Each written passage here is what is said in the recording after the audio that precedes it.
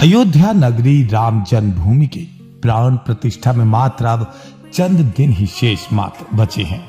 और पूरी अयोध्या मानवाज दुल्हन की तरह सज रही है। और हो भी क्यों ना आखिर रामलला जो आ रहे हैं।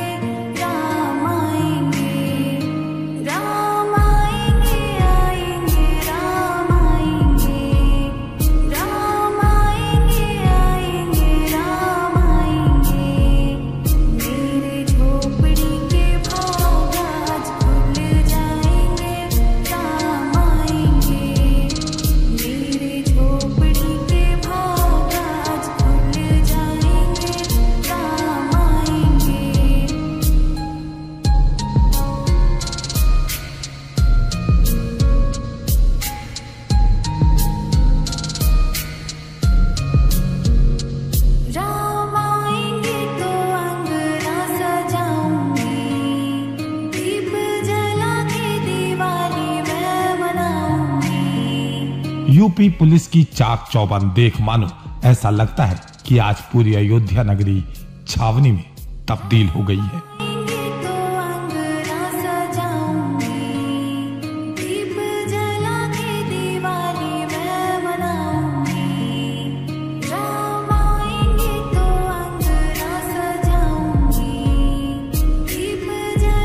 बहरहाल, अब हम आपका ज़्यादा वक्त जाया ना करते हुए सीधे आपको लिए चलते हैं अयोध्या नगरी में और दिखाते हैं कि कैसे इस अयोध्या नगरी को सजाने में ये लोग दिन रात लगे हुए हैं।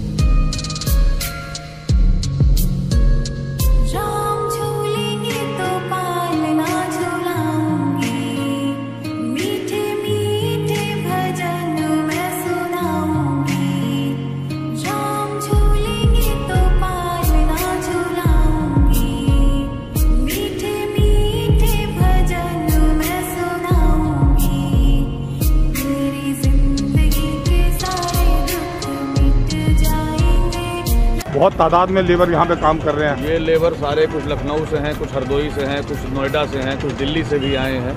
जैसे जैसे जिसका जिसका काम है जिस तरीके का। जी। जो उसके एक्सपर्ट आदमी हैं वो जहाँ जहाँ मिले हैं वहाँ वहाँ से मंगाए गए हैं। मंगाए गए हैं। जी। और 22 तारीख बहुत नज़दीक है अब हफ़्ते से भी कम समय बचा है तो ऐसे में क्या कहते हैं कि काम हो पाएगा पूरा? बिल्कुल। मैक्सिमम 18 तक यहाँ पे सारे काम निपट जाएँगे। अट्ठारह तारीख तक पूरी जो हाँ, अयोध्या नगरी हाँ, बिल्कुल पूरा प्रेशर यही है हर आदमी लगा हुआ है जी जान से लगा हुआ है जी। कि वो पूरी ताकत लगा दिया है कि हम जो है माननीय प्रभु श्री राम के जो है प्राण प्रतिष्ठा के पहले दो चार दिन पहले ही अपना काम खत्म करके जो है बाकी जो साज सज्जा ये सब जो काम बचा हुआ है इन सब पे भी दो चार दिन का समय मिल जाए ध्यान देने के लिए। जी। इसलिए हर आदमी जी जान से लगा हुआ है कि अपने काम को समय से पूर्ण कर ले। जिससे 22 तारीख को आने वाले हमारे इतने मेहमान आ रहे हैं कहाँ कहाँ से लोग आ रहे हैं तो उनको यहाँ पे कोई कमी बेसी ना दिखे। इसी चक्कर में प्रशासन प्लस जो है यहाँ के ठेकेदार यहाँ के मजदूर यहाँ के काम करने वाले लोग सब ये पूरी ताकत लगा के लगे हुए हैं। क्या सड़कें क्या चौक चौराहे? मानो पूरी अयोध्या नगरी ही राम में हो गई है। राम ध्वज का पताका पूरे अयोध्या को मानो अपने में समेट चुका है।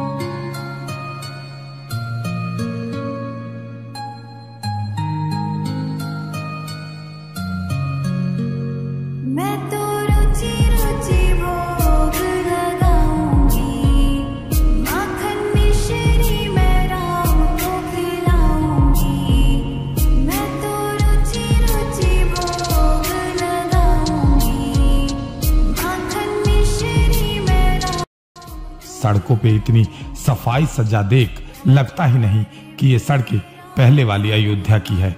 आखिर हो क्यों ना? अयोध्या अब विकास की पथ पर अग्रसर जो हो चला है।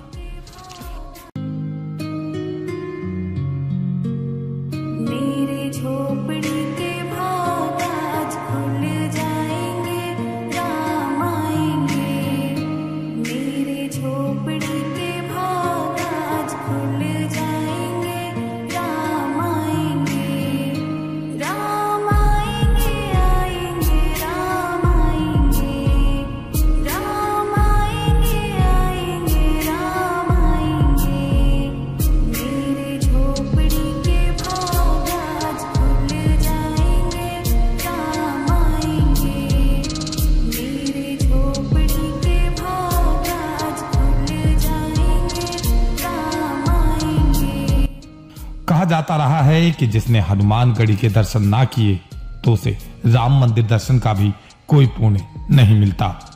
तो फिर मित्रों, आपको सबसे पहले हम हनुमानगढ़ी के दर्शन करवाते हैं और जानते हैं कि यहाँ रामलला के मंदिर को पुजारी भक्तगण कैसे देखते हैं।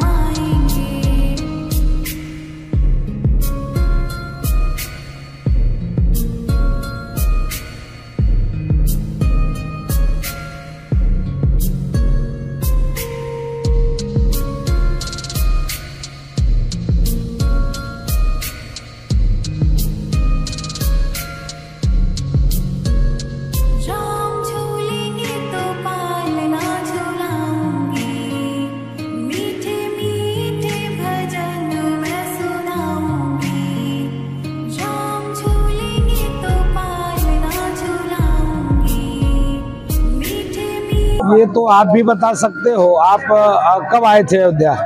इस बीच में आपका कब आना हुआ था? जी मैं दो साल ढाई साल में आया। जो अढ़ाई साल पहले आए थे तब आपको कैसा लग रहा था? अब कैसा लग रहा है? अब तो बहुत सुखी आप बताओ ना आप अढ़ाई साल पहले कैसा लग रहा है? बदलाव आया है। हाँ तो आपके कहने के नाते मैं कहूँगा तो कहेंगे बीजेपी के एजेंट है इसलिए ऐसा बोल रहे हैं। बदलाव हुई।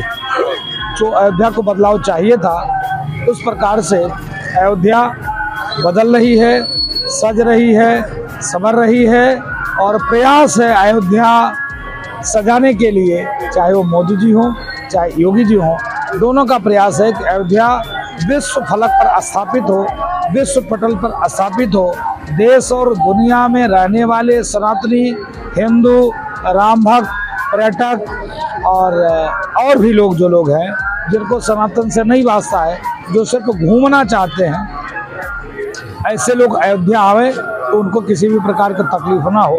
आने के बाद लगे कि हाँ अयोध्या आए हैं। समस्त भारतवासियों को क्या संदेश रहेगा समस्त भारत समस्त भारतवासियों को यही संदेश देना चाहेंगे जो सनातन सिखाता धर्म की जय हो अधर्म का नाश हो प्राणियों में सद्भाव हो विश्व का कल्याण हो जो विश्व बंधुत्व की भाव रखता हो और विश्व कल्याण का भाव रखता हो सनातन में सनातन से संबंध रखने वाले सनातन से नहीं भी संबंध रखने वाले, जो यह कहता हो, धर्म की जय हो, अधर्म का नाश हो, प्राणियों में सद्भाव हो, विश्व का कल्याण हो तो विश्व बंधुत्व की भाव सनातन परंपरा में, सनातन पद्धति में इसके नाते कामना करेंगे कि आप लोग जो 22 तारीख को अयोध्या नहीं आ पा रहे हैं, वो अपने अपने घरों में ही भगवान राम के फ़ोटो रखें, पुष्पांजलि करें, भावांजलि करें और भगवान से प्रार्थना करें कि हे ठाकुर जी पूरे विश्व में अमन शांति स्थापित हम सब लोग बहुत खुश हैं और जो बाहर से लोग आ रहे हैं, वो सब भी बहुत खुश हैं। और हम यही कहेंगे रामलला का दर्शन करिए और यहाँ घूमिए टहलिए आनंद लीजिए और तब देखिए कैसा आनंद यहाँ मिलता है। बस यही कहेंगे कि आप आइए और रामलला का दर्शन करिए हनुमानगढ़ी दर्शन करिए, कनक भवन दर्शन करिए, ताओ रामपड़ी दर्शन करिए, सरयू जी दर्शन करिए, आनंद लीजिए। और आपको पूरा आनंद आएगा मज़ा आएगा और प्रसन्न बहुत प्रसन्न होंगे हम लोग अयोध्या में बचपन से ही हैं। देख रहे थे यहाँ पर कोई भी राजनेता आने में बहुत कतराते थे। लोग फैजाबाद तक आते थे इसके बाद वहीं से वापस चले जाते थे। आज सभी अयोध्या आना चाहते हैं जो विपक्ष में थे जो ये अयोध्या जब से मोदी जी आए हैं और राम जन्मभूमि का निर्णय हम सबके पक्ष में आया है तब से अयोध्या में बहुत परिवर्तन हुआ है। यहाँ की गलियाँ चौड़ी हो रही हैं, यहाँ रास्ता बड़े सुंदर ढंग से बनाए जा रहे हैं, यहाँ सारी व्यवस्था चेंज हो गई। जो जीर्ण शीर्ण अयोध्या थी, आज नौ नवीन एकदम भव्य रूप लेकर के सबके सामने है, आप देख ही रहे हैं। और हमारा जो 500 सालों से जो हमारा विवाद था राम जन्मभूमि के अस्तित्व के लिए आज हमारे सामने है भव्य दिव्य नवीनतम मंदिर में रामलला प्रभु विराजमान हो रहे हैं। ये हम सब लोगों का बड़ा ही सौभाग्य है जो अपने आँखों से हम सब दर्शन कर पा रहे हैं। जय सीताराम। तो फिर दोस्तों, अब हम आप सभी को लिए चलते हैं रामलला के मंदिर के दर्शन करवाने। और बात करेंगे यहाँ पर कुछ भक्तों से और जानेंगे कि इस राम मंदिर के दर्शन कर उन्हें कैसा लगा।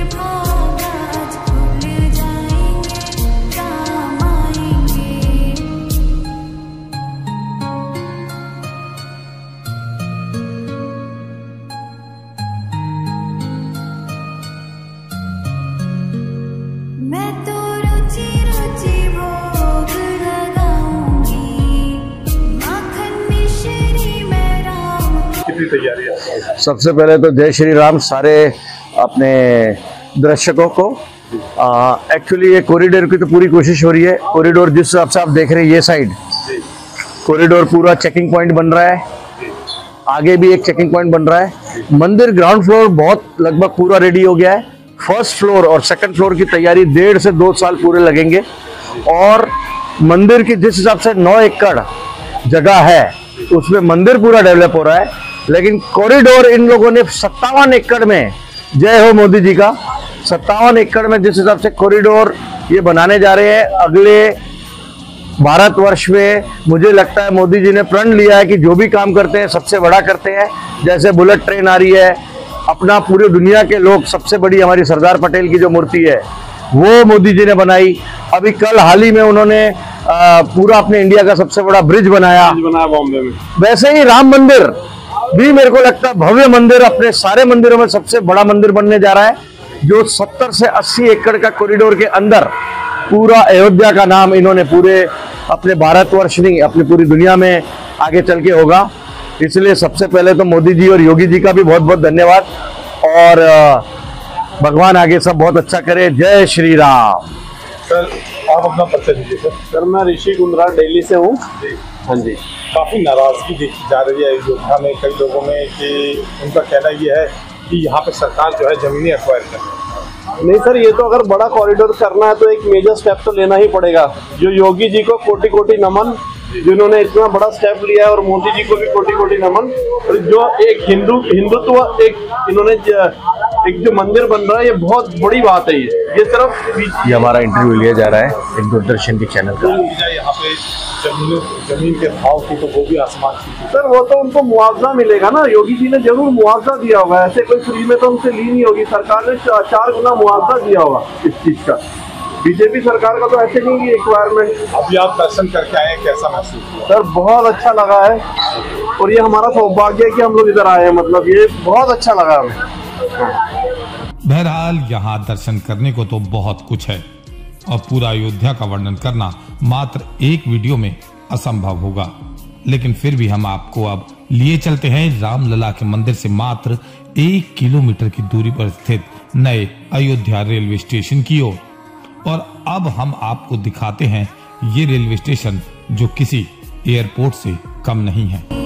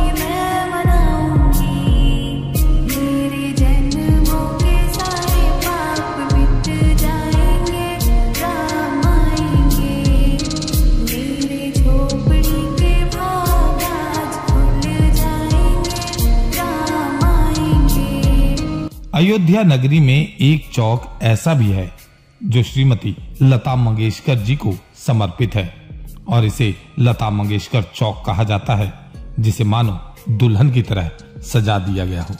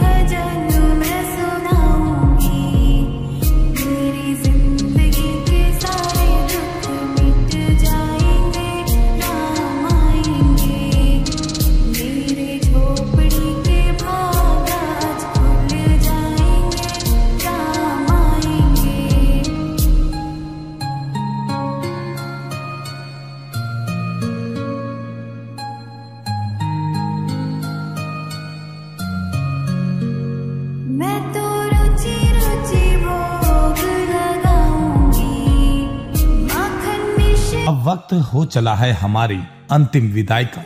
लेकिन जरा रुकिए। अयोध्या आए और माता सरयू नदी के दर्शन नहीं हुए, ये तो सही नहीं है। चलिए फिर, जल्दी से आपका ज़्यादा वक्त जाया ना करते हुए, अब हम आपको सीधे लिए चलते हैं माता सरयू के दर्शन के लिए, और आपको माता सरयू की आरती के भी दर्शन करवाएँगे।